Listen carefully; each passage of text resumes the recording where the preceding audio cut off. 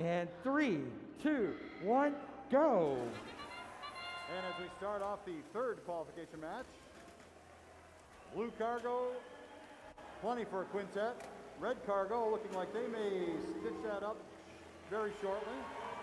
Oh, Red Alliance that is not indexing. Will it index in time to get the four? They will get it there.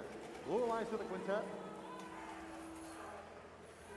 Moving ahead now into the teleoperated period. Blue line's up 34-20. Blue line's halfway to, almost halfway to their uh, ranking point, and there it is. 1700 Gator coming around the corner. They've got themselves some cargo getting pushed off the line by 6637 Beta Wolf. Let's see if 1700 can score.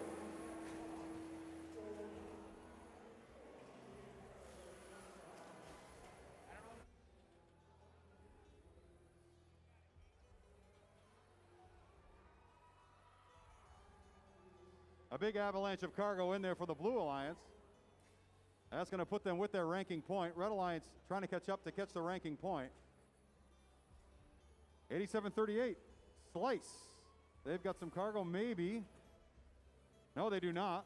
Looks like they're having some trouble moving. See if they can get their alignment in ready for the end game. We've got, still got a minute to go, more than a minute to go in this match. Plenty of time to score.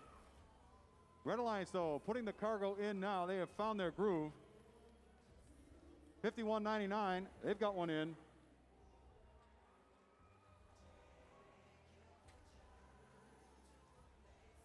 Fifty-one ninety-nine, put another one in.